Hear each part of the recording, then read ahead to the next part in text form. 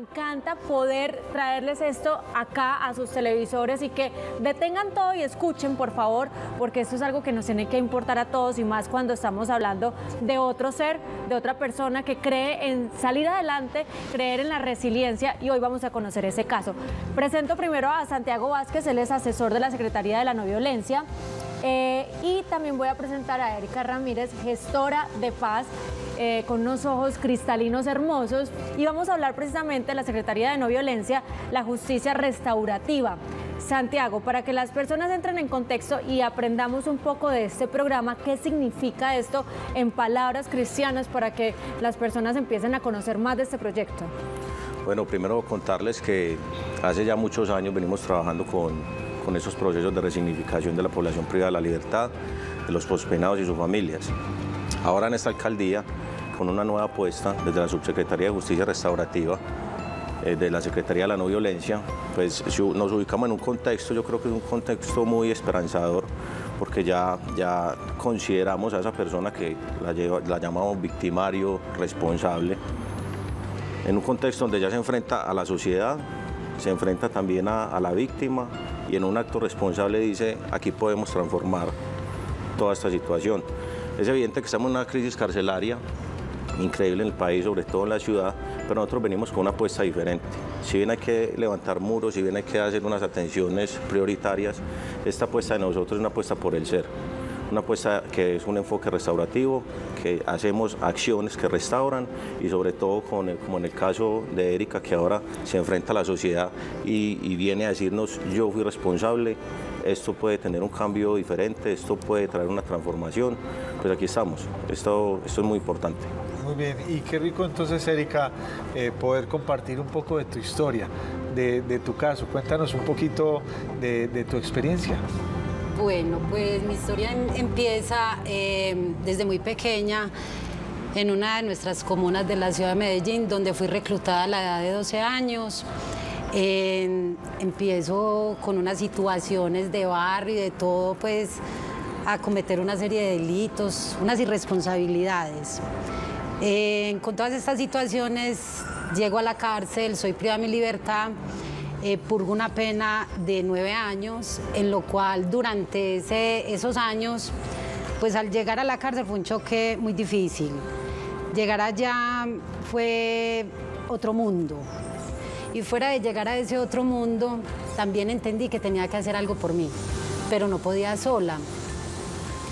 Durante dos años más o menos eh, tuve muchas situaciones donde no creía en mí, no quería ni vivir, no quería nada, donde una ruptura familiar, donde tuve pérdidas inmensas, pero gracias al programa, eh, unos psicólogos, entre ellos Santiago y otro Edwin, eh, me dicen que qué pasa, que yo qué quiero, me dan la oportunidad de expresarme y lo único que yo les dije fue, es que yo no creo en mí. O sea, ¿yo qué voy a hacer después de que retome mi libertad? Y fue muy difícil. Entonces ellos empiezan a darme unas herramientas para trabajar por mí, para mi vida, y me dan la oportunidad de empezar a recibir los chicos que iban de las instituciones educativas con un proceso, con unas charlas, hacerles una terapia de choque a la cárcel. Empiezo mi proceso y en ese proceso también era contarle a los jóvenes esa experiencia, de esa dificultad, de todo lo que uno vive privado de la libertad y durante un proceso, en cuestión de, de estos delitos. O sea, que no es nada fácil y la verdad pues no es recomendable para nadie. Inicié mi proceso allá en la cárcel durante muchos años, gracias al apoyo psicosocial, gracias al programa. El programa lleva muchos años ahorita se ha ido fortaleciendo aún más, lo cual realmente es lo que necesitamos. Hago este proceso en la cárcel, retomo mi libertad y sigo el proceso aquí en la calle. Después de terminar ese proceso aquí en la calle, se me brinda la oportunidad de ir a contar mi historia desde lo vivencial a los chicos en los colegios. Pero tenía que estudiar. Yo no había terminado mi bachillerato y gracias al programa pude terminar mi bachillerato, puedo ir a las instituciones educativas a contar mi historia, a prevenir el reclutamiento, a prevenir eh, el consumo.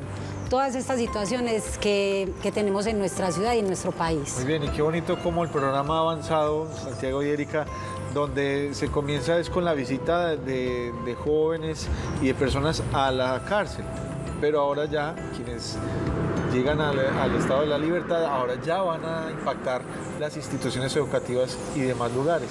Muy bien, Santiago, ¿qué otros procesos o pues eh, Erika nos acaba de contar pues rápidamente, sin mucho detalle, pues todo lo que ocurre en este proceso que lleva años, eh, entender que sí se puede pensar, hablar de segundas oportunidades, de cambios, eh, cómo se ha podido también em, vivir, evidenciar lo que el programa ha podido pues lograr con estas personas.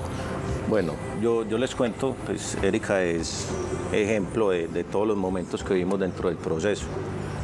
Prácticamente trabajamos en tres líneas, que es una línea dentro del establecimiento, otra con los pospenados, que es fuera del establecimiento, y una tercera línea que es prevención de la violencia y el delito con enfoque restaurativo. Lo que nos dice vos que antes que hacemos las visitas con la población, con los jóvenes en las instituciones educativas.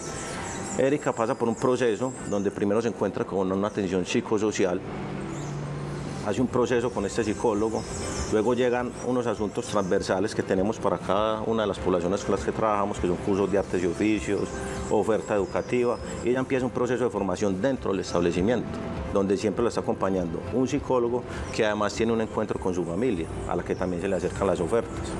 Una vez sale, y siempre y cuando sea el interés de esta persona, su voluntad también, darle una, retribuirle algo a la sociedad, Erika se vincula con nosotros, supera su inhabilidad de ley y ahora es una de las, de las 10 gestoras de paz que tenemos en el, en programa.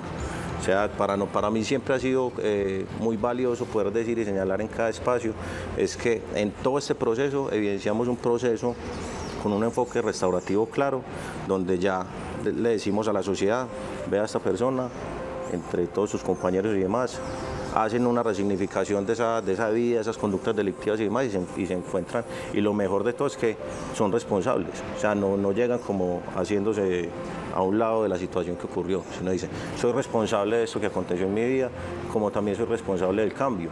Y eso hace un clic tremendo en la sociedad, en las comunidades donde llegan, y la recepción que tienen estas personas es brutal, de verdad que sí.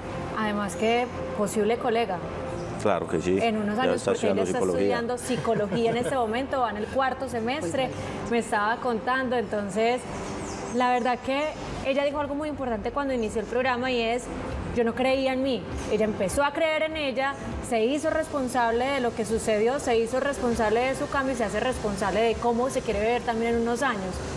Eh, línea telefónica, si usted nos quiere llamar en este momento, claro que sí, lo puede hacer. La línea está abierta, 604-268-6030. Si nos quiere compartir eh, alguna historia de vida que usted tenga en casa, si le quiere decir algo a Erika, si quiere preguntar algo por el programa, pues claro que lo puede hacer. Eh, Juanpa, qué rico poder tener esas historias en el programa, poder mostrar que esto también es vida saludable, porque estamos hablando de que es un compromiso que tenemos que hacer como sociedad después de tener todo este proceso, un proceso que llevaba más o menos 10 años, ¿cierto? Eh, los grandes aprendizajes, los grandes mensajes que se le puede llevar a la comunidad, eh, porque claro, una cosa es verlo desde acá afuera y otra cosa es lo que ustedes ven adentro, pero tú ya saliste y también lo estás viendo desde afuera. ¿Cuál podría ser? Bueno, pues principalmente la creencia en ti mismo y es también en gran manera el apoyo el apoyo psicosocial y el de estos programas. Si no fuera por estos programas, no sé qué sería de mi vida, realmente. No sé qué sería de mi vida y de muchos de mis compañeros. Aprendizaje mucho. Yo pienso que caer para levantarse no es caer y que cuando uno quiere se puede. Hacerlo con todo el amor. Vivo muy feliz, me siento satisfecha con lo que estoy haciendo, fuera de que estoy estudiando psicología, también perdón, hago parte de un laboratorio de investigación, donde en ese laboratorio trabajamos también con población privada de la libertad, hombres y mujeres. Y cada día aprendo más, no, no paramos de aprender. Eh, y desde este lado, yo pienso que a la sociedad le falta mucho quitar ese estigma contra las personas que hemos purgado una pena. Hay que dar oportunidades. Y, en, y de esas oportunidades es donde salen resultados y acá estamos. Perfecto. Me va a hacer llorar. Ay, no, espérate, me voy a tomar el cafecito porque tengo el ojo aguado. Santiago, precisamente las personas que desean esa segunda oportunidad, o sea, el programa, eh, quienes están recluidos, las personas que están eh, reclusas, ¿conocen que existe este programa o cómo se les hace llegar? Sí, la sí, eh, digamos, en, eh, trabajamos eh, especialmente en la cárcel de Pedregal y Bellavista, en Pedregal bloque hombres y mujeres, con permanencia constante. Ayudamos en todos los procesos administrativos, lo que conocemos como el tratamiento penitenciario.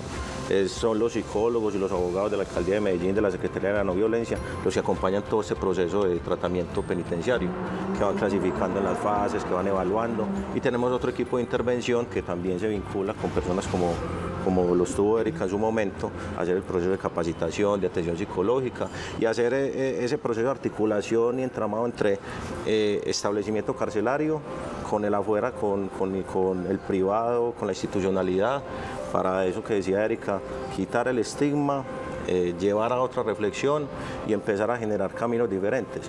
No todas las personas que están con nosotros llegan a ser gestores, maravilloso que todos pudieran llegar a este lugar. Otros llegan a, a desarrollar su emprendimiento, a montar su empresa. Otros su deseo no es vincularse con nosotros, pero lleva un proceso entre el establecimiento y sale y desarrolla su vida. Pero lo importante acá, yo creo que a señalar es que el caso como Erika, Jader, Edwin, Eliana, Osiris, eh, Rical- Ricardo, eh, Adrián. Adrián, personas que, que están aquí como gestores, eh, yo creo que es el motor eh, principal este, de este proyecto y, y es también para mí muy grato señalar que muchas de esas personas ya no son gestores de paz, son profesionales y están ahora ya como profesionales contratados dentro del proyecto.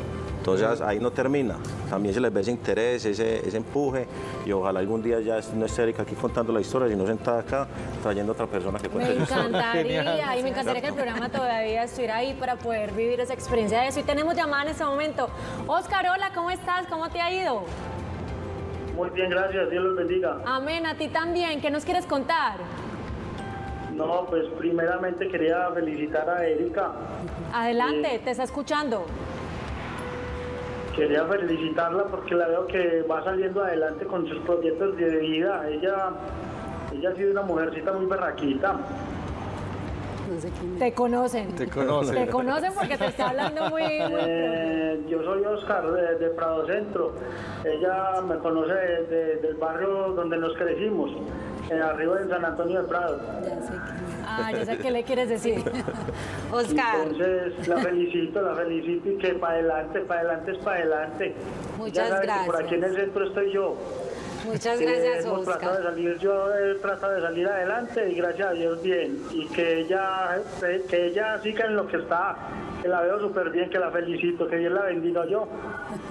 Muy bien. Amén, muchísimas gracias Oscar y de verdad que vos también has logrado muchas cosas y seguí así, que de todas maneras las oportunidades están, hay que saberlas aprovechar y yo sé que usted también es muy berraquito. Muy bonito, Oscar. Mira, usted pague por tu llamada. Gracias por, por llamar, por tener el gesto del detalle de decirle la conozco y le voy a decir que es una berraca en televisión. mucho. Qué bueno, qué rico de eso se trata. Sí, porque es que también nos criamos juntos. Y los dos están saliendo Y adelante. adelante, sí, Claro, en sus formas y todo. Muy bien, Santiago. Si alguna persona en este momento está conectada con esto y dice, yo quiero saber más de este programa, quiero pues conocer si puedo ayudar o puedo eh, pues ir y, ver de algunas de estos proyectos, pues me puedo integrar, eh, alzo la mano, ¿qué puede hacer? ¿Dónde se puede contactar? ¿Dónde puede seguir? ¿O, o- o cuál es el medio de comunicación con ustedes? Bueno, la Secretaría de la No Violencia queda en el edificio Vázquez, Parque de las Luces, al frente del Centro de la Alpujarra. Ahí es queda la Subsecretaría de Justicia Restaurativa a la que pertenece ese proyecto. Nosotros tenemos dos puntos de atención, uno en la colonia Belencito y otro en la Casa de Justicia al Bosque. La Casa de Justicia al Bosque, por efectos pues, de, las marchas y demás, tiene un proceso de reformas y reparación y pronto volveremos allá. Y estamos en un proceso que, que es muy bonito y que bueno señalarlo acá, gestando un- una, un- una casa que la podemos nombrar ahora como una casa de prácticas restaurativas, que va a quedar en Prado Centro. Aquí vamos a estar vinculados con el sistema de responsabilidad penal adolescente, con el programa de víctimas, con el programa de reincorporados. Entonces, estos van a ser nuestros tres puntos de atención.